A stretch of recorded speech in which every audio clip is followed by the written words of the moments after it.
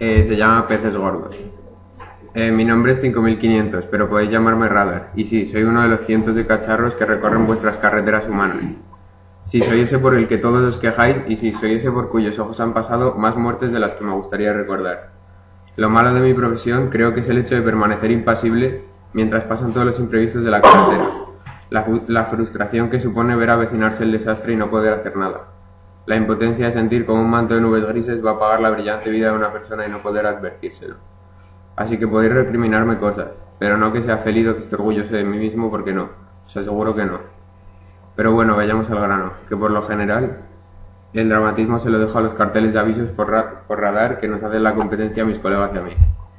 Si hoy me he decidido a contar esto es porque Tracy me lo pidió. El día, me lo pidió el día que salí del hospital y no me pude negar. No se acuerda de nada. Por lo visto, según dicen, las víctimas de un accidente bloquean los recuerdos de todo aquello que los ha hecho sufrir y yo la creo, o eso intento, así que me dispongo a contar su historia.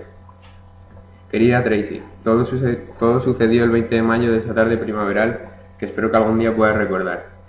Estaba el, el tráfico tranquilo, apenas pasaban coches por delante de mí los pocos que lo hacían iban tan deprisa que mis ojos solo estaban puestos en capturar sus matrículas para enviárselas a los peces gordos del negocio del tráfico.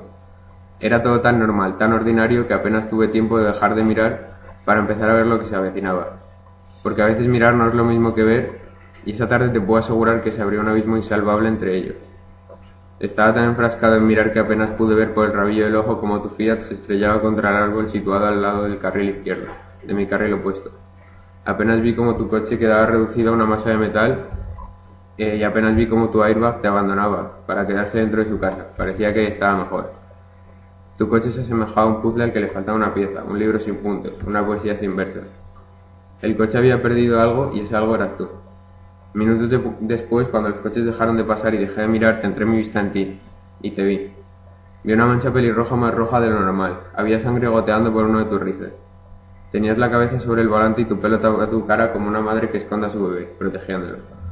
No te movías, ni siquiera parecías da- darte cuenta de que el humo del motor se estaba colando por el interior del coche, se estaba apoderando de tu mundo. Yo no hice nada, no pude hacer nada. Te prometo que quise correr, quise llegar, entrar, decir- decirle al humo que se fuera, que nadie lo había invitado a entrar en tu vida, pero no pude. Acababa de pasar un coche a 150 km por hora y mis ojos, una vez más, contra mi propia voluntad, se habían girado para capturar su matrícula. Aunque mi cabeza siguió puesta en la mancha pelirroja de la que emanaba sangre y el humo que se cernía sobre ella. Te aseguro que quise girarme, verte, ayudarte, pero los peces gordos no me dejaron, controlaban todo, absolutamente todo.